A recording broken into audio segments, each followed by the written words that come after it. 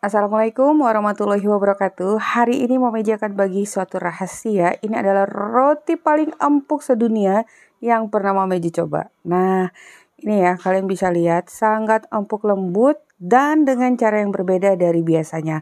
Tidak diulen, tidak di mixer, tidak perlu sampai kalis, hanya diaduk aja.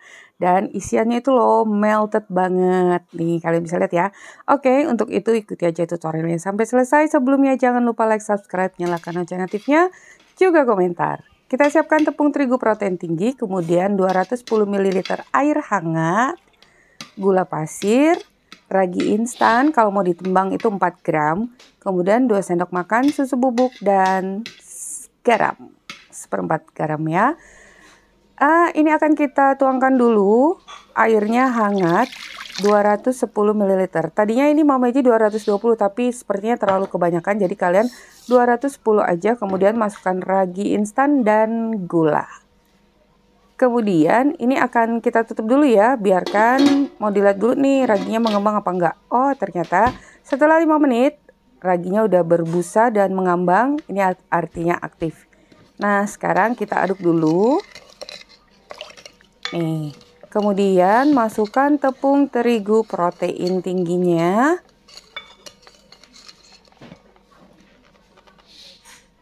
Jadi ini sumpah ya, Mudah banget dan kalian pasti semua bisa. Lalu masukkan susu bubuk dan garam. Kembali kita aduk. Ini kita aduk aja nih sampai semuanya tercampur tidak ada lagi tepung yang kering. Kalian bisa lihat ya, di sini konsistensinya sangat lunak, cenderung lebih basah gitu ya. Jadi di sini lebih tepatnya sebaiknya kita gunakan 210 ml aja air hangatnya. Nah kalau udah tercampur rata masukkan margarin 1 sendok makan atau kalau ditimbang itu 20 gram. 1 sendok makannya juga nggak full ya. Kembali kita aduk tentunya semuanya sampai tercampur dengan merata dan ini udah terlihat ya nggak ada lagi yang berketul. Udah lumayan tercampur dengan halus. Ini akan kita proofing selama satu jam sesuai dengan suhu ruangan yang pasti sampai mengembang dua kali lipatnya. Nih, kalian bisa lihat, ini lunak banget loh. Awalnya ragu, tapi pantang menyerah kita maju aja. ini serat-seratnya udah terbentuk dengan baik, kalian bisa lihat. Kita kumpulkan dulu dan siapkan papan kerja. Taburi dengan terigu tentunya agar nggak terlalu melekat. Karena ini rentan dengan perlekatan. Kita tuangkan dulu ya. Nih. Ini emang seperti ini nih. Tuh lunak. Tapi ini airnya 220 loh, tapi sebaiknya nanti kalian 210 ml ya. Nah, sekarang kalian lihat caranya dibalik-balik aja. Kalau masih bagian permukaan atasnya melekat, itu kalian bisa taburi aja dengan sedikit lagi terigu sampai saat kalian pegang itu nggak melekat lagi di tangan. Nih seperti ini. Saat kita menyentuhnya, boleh dibantu dengan scraper lebih baik ya. Nah caranya begini, di folding, terus membentuk bulatan. Semakin lama kalian akan merasakan adonan ini uh, semakin kencang dan halus. Kalau masih belum, bisa kita folding-folding, balik-balik lagi, taburi buku yang pasti jangan sampai melekat pada papan kerja ataupun pada tangan. Nih, seperti ini kalian bisa lihat. Tuh, udah kelihatan kan? Permukaannya itu halus. Jadi jangan dibenyak ya. Jangan ditindas. Jadi ini kita ringan aja. Tuh, caranya seperti itu. Kita bersihkan dulu nih papan kerjanya dan terus kita gulung memanjang ringan aja Lalu siap kita bagi-bagi. Nah, ini kurang lebih beratnya 50 gram, 40 45 45 gram ya. Per pieces kurang lebih 45 gram.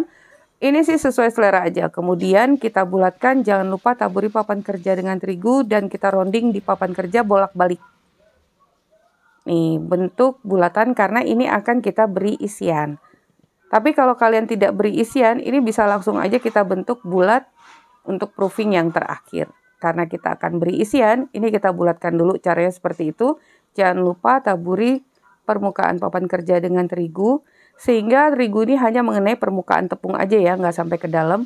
Dan kita rounding di papan kerja untuk menghaluskannya di bolak-balik tuh. Nggak kelihatan aja ya Momeji merondingnya permukaan atas dan bawah. Nih kalian bisa lihat sekali lagi. Tarik semua tepiannya ke bagian tengah, letakkan permukaan yang halus di bagian atas. Nih, ini rounding permukaan bawah, balik lagi permukaan atas dan bentuk bulatan seperti ini. Oke. Nah, kalau udah selesai semua nih, oh ya, ini papan kerjanya bisa dibersihkan dulu. Pastinya ada bagian-bagian yang melekat karena memang adonannya tadi lunak. Jadi kalian eh, ngerjainnya juga dengan perasaan ya. Dan ini kita istirahatkan dulu selama 15 menit. Kemudian di sini Mama Meji menggunakan loyang 24 kali 24 cm yang seluruhnya kita alasi aja dengan baking paper atau kertas roti agar nanti kalau rotinya matang tinggal diangkat nggak merubah bentuknya ya kita ambil satu tentunya yang udah kita bentuk pertama kali jadi e, secara berurutan nih kalian tepuk-tepuk pipikan dan saatnya ini kita isi dulu nanti mau jelaskan kembali udah kelewatan ya setelah kita isi, tarik semua tepiannya dan kembali membentuk bulatan. Letakkan permukaan yang halus di bagian atas, jepit rapat. Dan jangan lupa jika kurang boleh taburi papan kerja dengan terigu. Haluskan pada papan kerja. Jadi bentuknya seperti ini. Tuh, haluskan. nah, kita akan ambil adonan yang kedua. Oh, ntar dulu. Kita letakkan dulu pada loyang. Nah, sekarang taburi dulu ya, jangan lupa uh, papan kerja dengan terigu, kemudian kita ambil adonan yang dibentuk nomor 2 dan seterusnya kita tepuk-tepuk, ditepuk-tepuk pipihkan seperti itu agar gelembung udara yang terjebak itu bisa keluar. Nah, sekarang yang kedua ini Mama Iji isi dengan selai blackberry. Jadi boleh tadi menggunakan coklat block atau DCC ya. Nih, kita bulatkan kembali. Oh ya, untuk isian sebenarnya sesuai selera, cuman kalau untuk coklat, kalau yang mau melted hasilnya, kita gunakan coklat blok yang dipotong-potong. Gak usah diparut, dipotong-potong aja. Tapi kalau kita menggunakan coklat meses, itu dia nggak akan melted, tapi agak membeku-beku gitu. Jadi kurang enak. Hmm. Nah, jangan lupa ya, bolak-baliknya di rounding di papan kerja agar permukaannya halus. Nih seperti ini. Nah, kalau udah selesai semua, itu kita dapat berapa tuh? 3 kali 4, 12 buah. Kita tutup proofing selama satu jam sampai mengembang dan udah mulai merapat semuanya ya. Kita olesi permukaannya dengan air susu, pelan-pelan aja.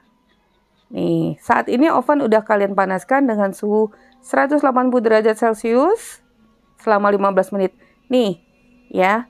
Jadi kalian bisa lihat permukaannya memang tidak halus-halus sehalus banget tapi lumayan udah sangat halus. Ini akan kita oven dengan suhu 180 derajat Celcius selama 20 menit api atas bawah tapi kalau saat sudah 10 menit bagian atasnya udah mulai kecoklatan api atas bisa kalian matikan tentunya sesuai dengan oven kalian masing-masing selagi panas keluar dari oven langsung aja kita olesi permukaannya dengan butter atau margarin Nih. Ini dia hasilnya. Wey, golden brown cakep banget.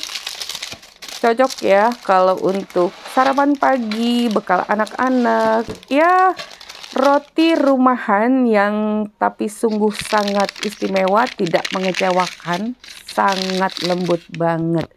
Nih, setiap metode ada kekurangan dan kelebihannya. Ini sangat empuk banget uh, mungkin kalau kekurangannya ya tidak bisa terlalu halus mulus banget permukaannya kalian bisa lihat ya tuh halus halus tapi uh, terlihat ada ya nggak nggak mulus gitu deh.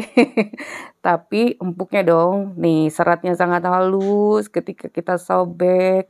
Dan ini awet tidak kering tetap lembut selama tiga hari dalam wadah tertutup. Ini yang isi selai blackberry. Nih, ini sumpe ya, lembut banget. Baru kali ini buat roti tanpa telur tanpa mixer, tanpa ulen itu hasilnya luar biasa lembut. Dan ini kalau kita menggunakan isian coklat coklat DCC, hasilnya tuh melted gitu, lebih enak ya. Nih, nah tapi itu tadi, setiap metode ada kekurangan dan kelebihan pastinya. Kalau menurut Mama Eji, dengan metode hanya mengaduk dan adonannya ini yang cukup uh, lunak, permukaan dari roti ini tidak bisa yang halus-halus semulus-mulus banget. Nih, masih ada terlihat guratan-guratan ya. Tapi yang pasti rasa dan kelembutannya itu top banget. Tapi kalau kalian menggunakan mixer atau metode lain, kemungkinan permukaannya itu akan lebih terlihat mulus. Nah, gimana? Sangat mudah ya. Hanya diaduk loh. Dan tanpa telur, tanpa mixer, dan tanpa ular. Eh ular ulen. Oke, sampai di sini dulu resep kita hari ini. Semoga bermanfaat. Bertemu lagi di resep Mama Eji berikutnya. Thank you for being with me today. Assalamualaikum warahmatullahi wabarakatuh.